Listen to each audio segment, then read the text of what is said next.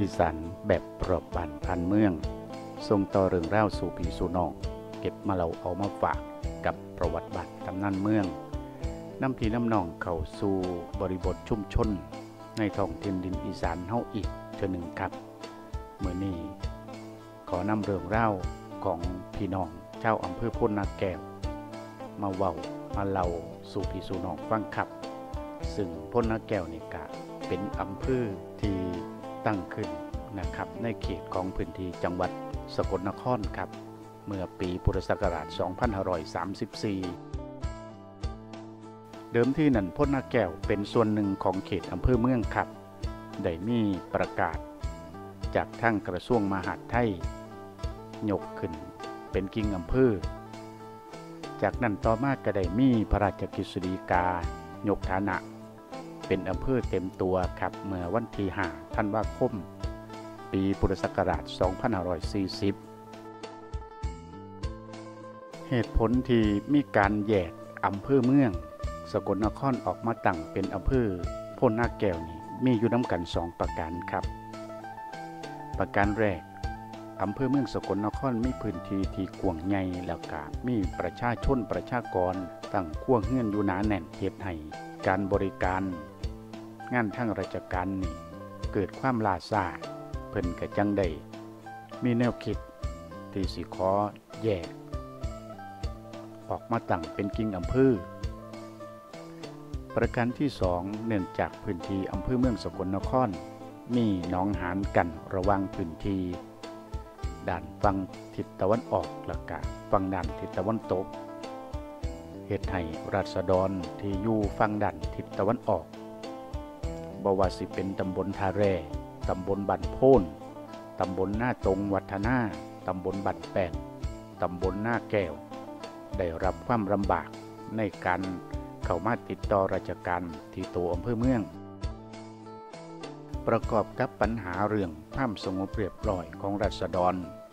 สภาพตำบลในพื้นที่ดังกล่าวเพิ่นกะจังได้มีความต้องการที่สิแยก มาตั้งเป็นกิ่งอำเภอ ทั้งจังหวัดสกลนะครับ จังได้ให้สภาพตำบลทั้งหาพิจารณาหาที่ตั้งศูนย์ราชการฝ่ายตำบลทาแลเพิ่นก็ต้องการให้ศูนย์ราชการนี่อยู่ในเขตพื้นที่ของตำบลเพิ่นโดยอ้างว่าเป็นท้องที่ที่มีความเจริญมีชุ่มชนหนาแน่นที่สุดฝ่ายทางดันตำบลโพนกับบอยินย่อมคือกัน โดยให้เหตุผลว่า ศูนย์ราชการตั้งอยู่ที่ตำบลทาแหล่ราษฎรตำบลบันโพนตำบลหน้าตรงวัฒนากะสิบ่ได้รับความสะดวก และก็เป็นท้องที่ที่ห่างไกลอยู่คือเก่าฝ่ายราษฎรและกะสภาพตำบลหน้าแก้วมีแนวโน้มเห็นไปกับตำบลทาแหล่เพราะว่าถ้าศูนย์ราชการอยู่ตำบลบันโพนรัษฎรตำบลหน้าแก้ว กะบ่ได้ประโยชน์คือกัน ดังนั้นตำบลบันโพนเพิ่นกะจังได้เจรจาต่อร่องกับฝ่ายตำบลหน้าแก้ว โดยให้ศูนย์ราชการนี่มาตั้งอยู่ระว่างตำบลบันโพนแล้วกะตำบลหน้าแก้ว แล้วให้ซื้อกิ่งอำเภอที่ตั้งขึ้นใหม่นี่ว่า กิ่งพ่นหน้าแก้ว ซึ่งเป็นซื้อของตำบลบันโพนแล้วกะตำบลหน้าแก้ว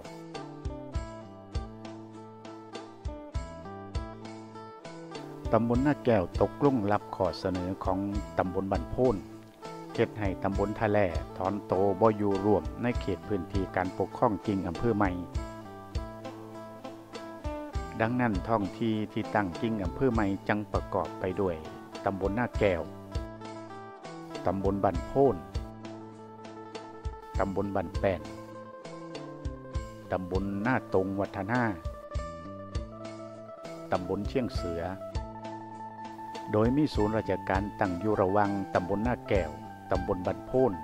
ตำบลหน้าตรงวัฒนา ในเขต ชุมชนอำเภอพ้นนาแก้ว ในชุมชนอำเภอพ้นนาแก้ว ประกอบโดยชนสำเภาน้ำกันครับ คือเผาไทยยอผู้ไทยแล้วกากะเลิง หรือว่าคาเลิงบริเวณพื้นที่พ่นนาแก้วนี่ครับบ่ได้มีหลักฐานปรากฏทั้งวิชาการที่ ยืนยันได้ว่าชุมชนพ่นนาแก้วนี่อพยพมาจากมองใดเมื่อใด แต่กะมีคนเฒ่าคนแก่เหล่าขานเป็นตำนานสืบสืบต่อกันมาว่า ผู้คนที่อาศัยอยู่ในเขตพื้นที่ของพ่นนาแก้วนี่ล้วนแต่อพยพมาจากเมืองมหาไส้กองแก้ว ฝากฟังประเทศลาวซึ่งอยู่ตรงกันข้ามกับจังหวัดนครพนม เพิ่นได้พากันอพยพเข้ามาอยู่อาศัยตั้งรกรักปักฐานประมาณ150ปีถึง200ปีมาแล้ว เหตุผลที่อพยพจากฝักฟังสายของแม่น้ำโขงมากกะ เพราะว่าหลีภัยสงครามมากกว่าอย่างอื่น มีคำบอกเล่าจากปากของนายช่วง เครือตาแก้ว ซึ่งอายุ 76 ปี เพิ่นเป็นอดีตกำนันตำบลบันโพน พิ่นเบาว่าตำบลโพนเป็นเผ่าไทยย่อพ่อแม่ เพิ่นเบาให้ฟังว่าอพยพมาจากเมืองมหาไส้กองแก้ว มาตั้งถิ่นฐานครั้งแรกอยู่ที่บ้านอ้อมแก้ว บริเวณหมู่ที่หนึ่งในปัจจุบัน เอื่นมาบ้านอ้อมแก้วแสนตอ สาเหตุที่ชุมชนแห่งนี้ได้ชื่อว่าบ้านอ้อมแก้วแสนตอกับเพราะว่ามีดวงแก้วขนาดใหญ่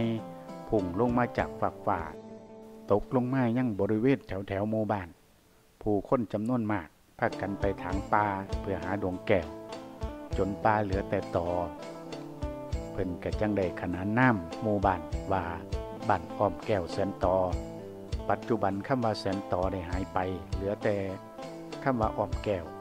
ซึ่งปรากฏมารวม 200 ปีแล้ว อำเภอพุนนาแก้วอยู่ทางดันทิศตะวันออกเฉียงใต้ของโตวจังหวัดสกลนคร มีอาณาเขตพื้นที่ติดกับพื้นที่กลางเคียงก็คือฝั่งดันทิศเหนือ ติดกับพื้นที่ของอำเภอกุสุมานฝั่งดันทิศตะวันออก ติดกับอำเภอป่าปาก จังหวัดนครพนมฝั่งดันทิศใต้ติดกับอำเภอวังย่าง จังหวัดนครพนมและกะพื้นที่ ของอำเภอโคกศรีสุพรรณและกะพื้นที่ของอำเภอเมืองสกลนคร ทิศตะวันตกติดกับอำเภอเมืองสกลนครอำเภอโพนาแก้วแบ่งเขตพื้นที่ปกครองออกเป็นหาตำบล มี53หมู่บ้านได้แก่ตำบลบันโพนมีเก่าหมู่บ้านตำบลหน้าแก้วมี 14 หมู่บ้าน ตำบลหน้าตรงวัฒนา มี 12 หมู่บ้าน ตำบลสังแปน มี 10 หมู่บ้าน ตำบลเชียงเสือมี 8 หมู่บ้านพ้นหน้าแก้วแนวหนองหานบ้านดินดีมีเห็ดเพาะ สนอดนตรีพื้นเมือง ง่ามประเทืองประตูนำกำวัฒนธรรมผ่าไล่หมุก คำขวัญของพี่น้องเจ้าอำเภอโพนนาแก้ว จังหวัดสกลนคร ได้นำประวัติเรื่องเล่าวความเป็นไปเป็นมาของชุมชน มาเว้าสู่พี่สู่น้องแล้วกันสิได้ลาพระจากครับไปพบไปพอกันคลิปใหม่คลิปหน้าฝากพี่ฝากน้องซอยกดไลค์กดแชร์กด subscribe เป็นแรงอกแรงใจในการบันทึกเรื่องเล่าว ชุมชนคนอีสานเฮาไว้ใน YouTube